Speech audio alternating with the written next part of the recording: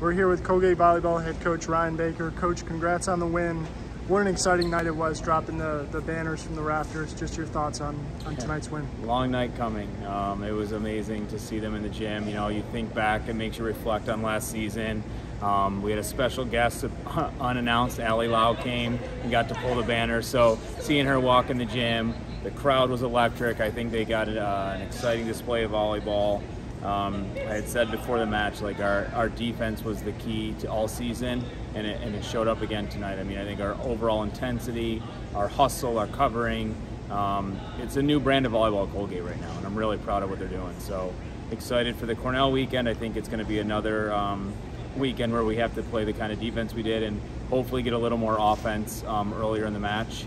Um, but I'm really happy overall. Thank you, Coach. Stays along that right side. Rezertarski with Babs at the service line, not showing much spin. To the near side. There's the kill. Harper Snyder again. Haushold finds the point, and that closes out set number one. Purple Eagles have no choice but to free ball it over, but look at the effort from Shadwick to keep the point alive, and her efforts Alter got to the back line. Set up with Blessing. Allen finishes. No, she doesn't. Instead of violation call, sticks with that left side. Here's Babs again where she's been so dominant, but this time denied.